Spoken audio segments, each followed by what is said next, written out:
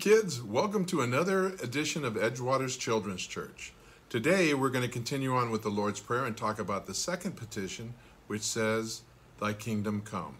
But first, we want you to get up, we want you to get on your feet, we want you to get ready to move. Here you go. Enjoy the song. We'll talk to you on the other side.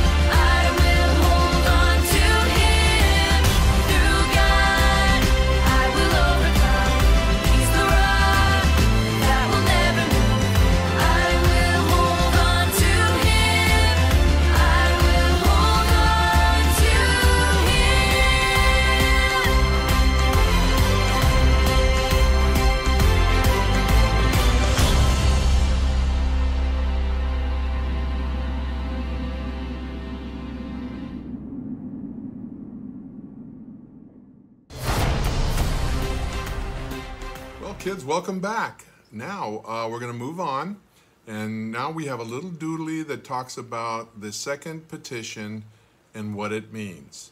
So enjoy this one and get ready to uh, learn about our lesson today. Here you go.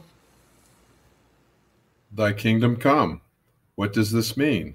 The kingdom of God certainly comes by itself without our prayer, but we pray in this petition that it may come to us also. How does God's kingdom come? God's kingdom comes when our Heavenly Father gives us His Holy Spirit, so that by His grace we believe His holy word and lead godly lives here in time and there in eternity. Well, I hope you enjoyed that little doodly on the second petition. Now, let's start with our lesson. Over the past few weeks, we have been learning about how important prayer is and about a prayer Jesus taught his disciples. Who remembers what that prayer is called? That's right, it's the Lord's Prayer. The Lord's Prayer is a good example of a prayer full of many things we should be praying for. That's why we are working to memorize it bit by bit. So far, we have memorized Our Father, who art in heaven, hallowed be thy name. Today, we're going to add a little piece of the prayer, and we have it memorized by next week. The next part of the Lord's Prayer we will be memorizing is Thy Kingdom Come. It's called the second petition. We will spend the rest of our lesson discussing what Thy Kingdom Come means. We will talk about what God's kingdom is like and why we want it to come soon. Then we will talk about how we become citizens of God's kingdom. The Bible has quite a bit to say about God's kingdom. Psalms 145:13 part A says, for your kingdom is an everlasting kingdom. Now, hmm, what do you think everlasting means? Hey, you're right. Everlasting means it will last forever. When you study ancient history, you will find that many kingdoms have come and gone. There was a time when the Roman Empire ruled the known world, and today Rome is just a city in Italy. Remember the story of Daniel, the guy who got thrown down into the lion's den because he would not stop praying to God? He lived in a place called Babylon. Babylon used to be the biggest city in the world. Now you can't even find it on a map. Over time, every kingdom or country comes and goes, eventually just becoming a story in a history book. But God's kingdom isn't like that. It has no beginning or end. Heaven will never become just a story in a history book. Heaven will last forever.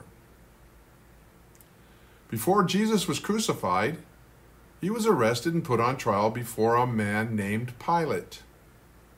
Now, Pilate asked Jesus if Jesus was the king of the Jews because some of the religious leaders of the time were saying Jesus was trying to make himself a king when he shouldn't be a king?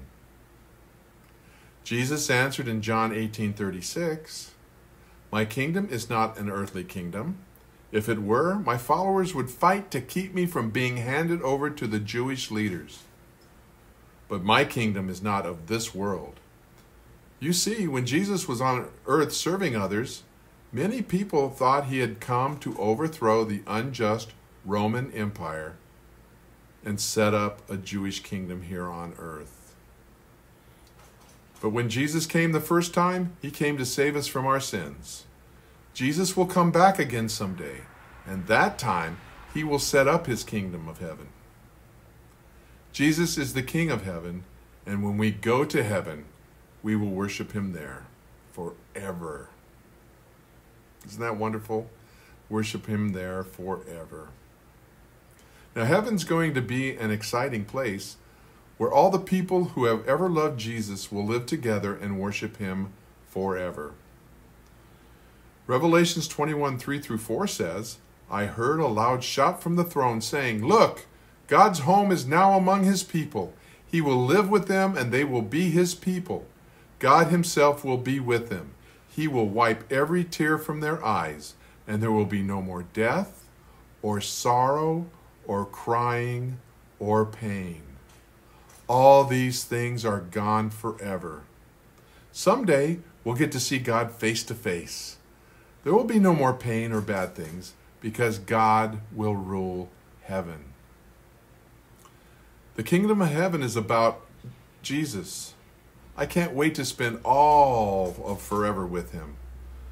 The very last book of the Bible, Revelation, ends by inviting people to come to Jesus. It says in Revelation 22 17, the Spirit and the bride say, Come. Let everyone who hears say, Come. Let anyone who is thirsty come. Let anyone who desires drink freely from the water of life. This means anyone can come and worship Jesus in heaven. A few verses later, in verse 20, it says, He who is faithful witness to all these things says, Yes, I am coming. Amen. Come, Lord Jesus. Jesus says in this verse that he will come back someday and welcome everyone who believes in him into his kingdom. As Christians, that's exactly what we want. We want the kingdom of Jesus to come soon so we can live forever worshiping him. That's why we say in the Lord's Prayer, Thy kingdom come. Thy kingdom come. The last thing we'll cover today is how do we get to go to heaven? Does everybody get to go to heaven? I mean, God loves everyone, so doesn't everyone deserve heaven? It is true that God loves everyone, but this does not mean everyone gets to go to heaven. There is only one way to get into heaven through Jesus Christ. Romans 10 9 through 10 says, If you confess with your mouth that Jesus is Lord and believe in your heart that Jesus raised him from the dead, you will be saved. For it is by believing in your heart that you are made right with God, and it is by confessing with your mouth that you are saved. The only way to go to heaven is to believe that Jesus Christ came to earth to die in our place for our sins and that God raised him from the dead. We have to confess that we are sinners saved by Jesus and not be embarrassed by that, to live with him forever in his kingdom. That's right. God's kingdom is going to be a place of happiness and love. Think about a birthday party or Christmas or Thanksgiving dinner. We get excited for and look forward to these things all year long because they are good things to look forward to. But we have something even better to look forward to, kids spending forever with Jesus in heaven. Heaven is going to be like one big celebration. So, God, may your kingdom come soon. Now, let us pray and repeat after me. We thank you, Heavenly Father, through Jesus Christ, your dear Son, that you have allowed us to come together today to learn more about your kingdom. We pray that your kingdom comes soon so that we may spend eternity with you. In Jesus' name we pray. Amen.